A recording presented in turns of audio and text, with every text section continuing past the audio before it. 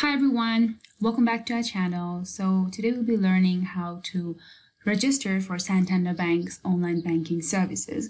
But before we learn to do that, don't forget to subscribe to our channel for more videos like this and don't forget to leave a like on this video if you liked it.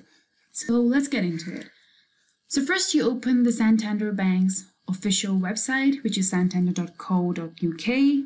And after you do that, you can see the register option here in the top right. You click there and you'll be redirected to another page. And here you're asked that to make sure you have a mobile phone on hand and you have the debit card or credit card number or the account number sort code. And if you have a business account, you can click here.